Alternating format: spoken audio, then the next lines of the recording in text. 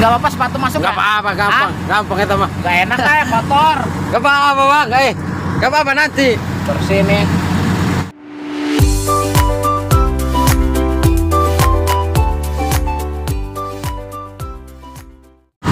Jadi yang pertanyaan kemarin tuh dari mekanik yang masalah travel kan Yo. kan tiap unit itu beda ya Pak beda karakteristik sistemnya beda antara kelas versi 200 yang 20 ton sama ini kalau ini kan 400 400 tuh kelasnya 40 ton. Dia sistemnya agak beda lah gitu.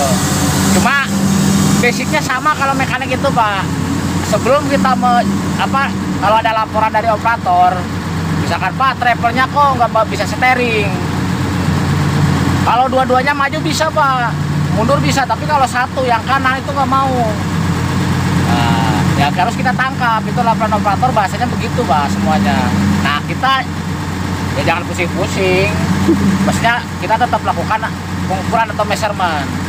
Measurement dulu gitu kan. Kalau operator itu kan by aktual feeling. Kebanyakan feeling ya. Ini kok nggak bisa gerak? Tadi kok nggak bisa? Gitu. Nah kita kenapa sih? Nah, kita ukur dulu. Lakukan pemeriksaan dulu pak. Nih ini karakteristiknya yang PC 400 atau PC Komatsu hampir sama dengan unit lain lah kayak yang sono itu kan. Eh, sistemnya gini jadi kalau di track itu ada namanya unload sama load. Unload itu putaran tanpa beban. Yang kedua adalah load jadi putar track itu berputar dikasih beban. Nah kalau unload itu putaran track itu tanpa beban itu digantung pak. Digantung dia ngejek kan banyak kan kemarin gitu ya? Ya. kalau digantung muter pak katanya. Muter aja tapi kalau taruh ke bawah nggak mau gerak. Apanya sih? Nah itu yang orang bingung kan apanya. Nah kita ukur dulu di sini. Ukurnya udah ya monitor panel pak. Gampang pak. Nih coba bapak naik. Kita coba ukur ini dulu ya. Nah kita swing dulu. Kita akan ngukur unloadnya. Jadi jangan bisa nggak bisanya. Kalau misalkan op- mekanik masih ngomong pak nggak bisa. Di jack muter tapi pas diturunin ke tanah nggak muter. Ya, itu bahasa masih bahasa operator gitu ya kan benar nah kita agak gelap ya. Itu itu ke sana pak. Nah itu kita ya, ini ya tekan nah sampai dia ngangkat nih. Treknya ngangkat. Kelihatan kan nih trek treknya ngangkat. Wah agak tinggi ya tinggi. Nah ini. Nah yang dimaksud dengan putaran tanpa beban ini di, di jack diputer. Ini yang mana nih? Eh salah. Ini yang kiri ya. Nah ini muter kan? Ini muter. Tuh muter dia. Oke udah muter ya. Bawahnya nggak ny- nyentuh tanah pak ya oke sekarang lihat sini pak. Nah sekarang kita lihat pressernya dulu berapa? Nih. Ini kondisi kita mengukur tekanan oli tekanan pompa pada saat eh, apa treknya di, di- digantung ya bahasanya atau unload pressure unload. Tekanan tanpa bukan unload bukan unload valve ya maksudnya ini unload digantung. Nah, di sini ada pompa depan pompa belakang ini perhatikan ya. Teman-teman ini pompa belak depan pompa belakang. Sebenarnya untuk menggerakkan itu berapa gitu tekanannya itu pak? Ya. Putaran gas tinggi kita gerakin. Nih udah muter kan tuh? Tuh dia udah mulai muter tuh. Lihat kita akan tarik ini aku tariknya pelan dulu ya biar kelihatan kenaikannya. Bentar nih tuh pompa depannya 63 63 kilo dia udah muter kan? Udah muter. Tapi kak harus kita kencengin cepetin pak. Aduh sorry. Pelan-pelan nah. Se- sebenarnya berapa sih? Nah ini udah kencang nih putarannya ya. Tuh dia cuma 100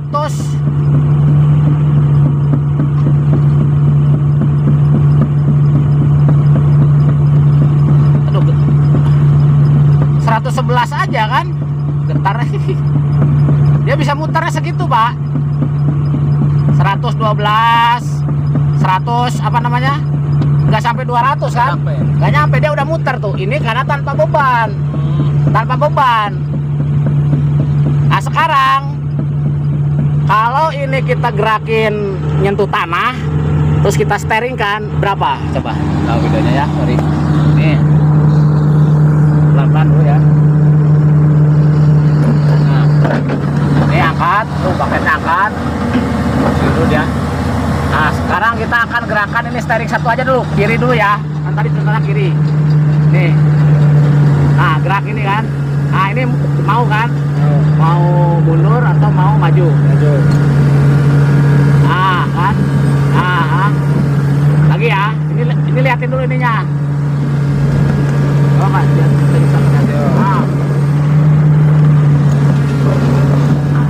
sekarang kalau mekanik harus lihat pressure pak nih tekanannya di sini berapa sih tekanan untuk menggerakkan travel normalnya pada saat dia operasi ya kan nggak mungkin di jack operator gerak kan Iya. Oh mau gimana gantung gitu guys.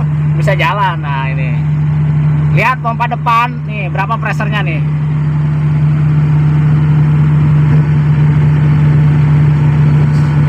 Nih ini udah pelan tapi dia belum gerak.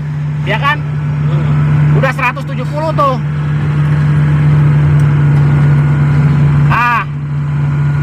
300-an kan? 300 tuh. 300 tuh baru udah gerak tuh. Tuh tuh muter kan? Pressernya 400 ya kan? Satu lagi.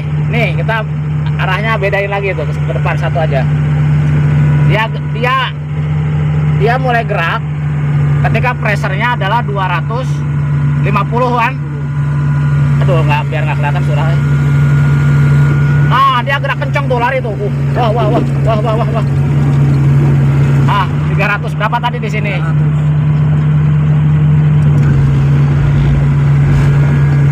Nah. Ya kan, udah tahu bedanya. Jadi, maksud saya diukur dulu pressernya. Kalau begitu dia di tanah begini atau eh, load ya, di load bahasanya nggak mau pressernya cuma 150 kilo atau 100 kilo, berarti bermasalah di, di pressernya bener kan? Tapi ada juga kejadian ketika dia 350 tetap nggak gerak pak ada. Berarti bukan di pressernya tapi di flow rate-nya di flow-nya pompanya ya. Yang gampang dulu misalkan pressernya nggak kecapai begitu di jack tadi 100 sudah gerak 150 udah, udah putar. Oke begitu di tanah pressernya itu nggak naik pak. Cuma 150 di gini-gini itu. Di gerak-gerak gini gini nggak mau naik pressernya cuma 170 atau cuma 150 berarti yang bermasalah di main reliefnya di safety valve-nya coba dicek. Di jas dulu atau dicek ya dibuka ya. Apakah ada kebocoran pressernya ke travel itu. Kayak gitu jadi nggak usah pusing-pusing. Beda lagi ceritanya kalau pressernya tercapai. Dia ditekan ngerelip 300 atau 400 tapi nggak mau gerak. Berarti bisa jadi flow rate-nya. Flow-nya kurang pompanya itu kurang. Pompanya kurang. Servonya nggak mau gerak misalkan. Ya contoh ya coba naik lagi pak.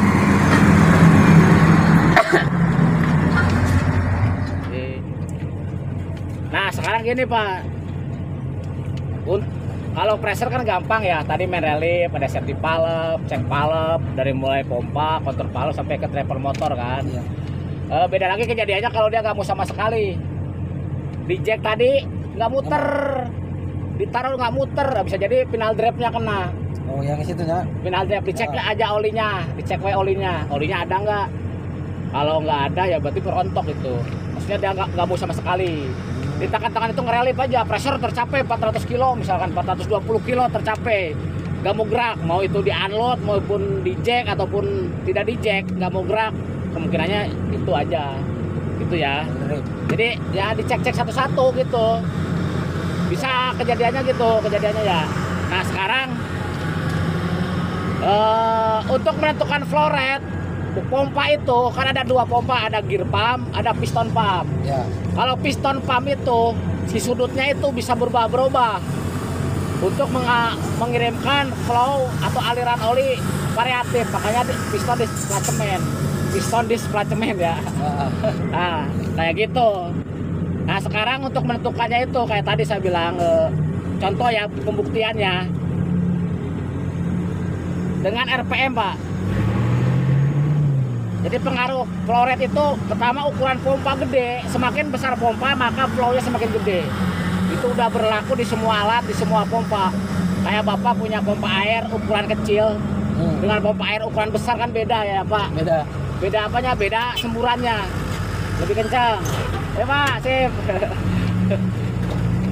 ini juga sama di pompa ini. Ini ukuran udah gede. Kedua apa lagi? Putaran mesin pak. Hmm. jadi flow rate itu terpengaruh putaran mesin. Kalau putaran mesinnya tidak tercapai maka si pompa ini nggak bisa mengeluarkan kemampuan dia untuk menyemburkan tekanan eh, apa pre- eh, flow oli dengan Oli. ba- banyak. Nah putaran kan harus diputar kan pompa itu pak? Iya. kalau putaran mesinnya nggak tercapai ya dia akan lemah. Lemah. Flow-nya akan capai contoh misalkan yang ekstrim ya putaran mesinnya low idle pak putaran mesinnya rendah bapak gerakin sorry bapak enggak fungsi lagi nih, Bos. oh enggak ya batasan nih tuh kan attachment lambat kan Ya. ini ada- karena putarannya nggak kecapai si pompa itu nggak diputar maksimal Hmm. Eh, terus yang kedua nanti ada LS palep, ada PC palep kalau di pompa ya, atur Ya. sudutnya itu pengaturannya. Ya dicek satu-satu. Itu. Jadi ya gitu Pak maksud saya. Tapi kalau Komatsu antara flow rate dengan pun tercapai dia. Cuma bedanya kecil aja. Tuh, mau kan? Mau dia. Iya. Karena dia sudah bagus sinkronisasi antara engine dengan hidroliknya. Cuma nanti lambat itu aja, Pak. Ya, agak lambat dia ya. Heeh. Jadi kalau misalkan maksud saya kalau pada saat putaran mesin rendah, low idle, travelnya ini masih mau, tuh mas- masih mau gerak, Oh. udah ketahuan. Permasalahannya bukan di pompa. Ya, Itu permasalahan apa? ah ada, Oh, ada yang lain ya. yang lainnya. Iya, bisa di kontrol palap atau bisa di travel motor. Nih, lagi nih. Gerak kan? Gerak. Gerak. Ini putarannya cuma seribu seribu loh. Ya, Ya, seribu. itu cara cepatnya aja. Tapi beda kejadian kalau pada saat putaran mesinnya ini seribu atau putaran rendah, begitu kita gerakin travel dia nggak mau gerak, nah berarti sudut servonya nggak nggak mau bergerak. Ini sebenarnya udah ber- bergerak dia si servonya itu maksimal, karena udah ada sensing dari ini kan dari handle kan, travel digerakin, tapi si si apa namanya si engine engine controller ngomong ini kok lu gerakin hidrolik, tapi mesin lu kok di low idle ini. Hmm. bahasanya dia begitu. Tapi ini gerak. Tuh ya kan? Ya, pressernya lihat pak. Naik juga 200 beras. itu perbedaan nanti antara kecepatan dengan kekuatan. Cuma ja- jadinya apa? Ya lambat. Tuh gerak kan? Nah ini putaran rendah aja gerak dia. Bener kan? Nah itu maksud saya pak. Jadi jangan jangan bingung kalau mekanik itu. Kayak kemarin aja kejadian arem pak. Arem masuk lambat. Ya operator feelingnya kan begitu ya. Iya. dia nggak tahu pressernya berapa. Nah kalau mekanik cek dulu pressernya arem masuk tuh berapa sih? Sama arem keluar. Kalau arem masuk itu cuma 300 kilo arem keluar itu 370 kilo berarti kan beda kok bisa beda ya bisa dari safety palepnya kalau main relief palep kan untuk semua ya Iya. Nah itu. Terus Pak pahami juga nih Pak, misalkan gini, pompa depan, pompa belakang, itu kan sebenarnya dua pompa tuh. Hmm. Pompa depan, pompa belakang digabung di tandem. Gabung. Gabung. Nah pompa depan buat nyuplai apa, pompa belakang buat nyu- nyuplai apa itu basic harus paham kalau mekanik. Semua alat juga begitu Pak, mau yang itu tuh. Headnya. Iya, Belko. sama. Basicnya itu dulu, gitu. Jangan di, aduh apanya pusing bang. Diukur dulu aja, diukur kan di- kelihatan nih. Dari sini kan kelihatan angka. Kita bayi angka pak. Kalau pressure udah tercapai, terus speed attachmentnya tercapai, operator masih ngeluh ya baru itu pertanyaan, Iya. ya kan? Nah itu bisa jadi kan operatornya Iya. atau yang lainnya. Ya kita angkanya udah bagus kok Pak, pressure udah 380, 370 kilo, speed attachment normal, semua kita cek normal, terus nggak ada error. Coba kita bukain ya. Di sini nggak ada error misalkan. Nah, di sini kalau ini, nah ini, ini ini doang nih oh, wiper ya nggak mau ya. Iya. Misalkan di sini nggak ada error berhubungan dengan mesin, nggak ada error berhubungan dengan yang lain ya. Ya udah alat aman aja dari pengurang kita kan gitu dokter kan gitu nih saya nih. Nih saya juga ngukur ini angka-angka ini. Hmm. Ini sebagian ini udah saya foto-foto datanya nanti di sini nanti kita isi. Nah, misalkan ini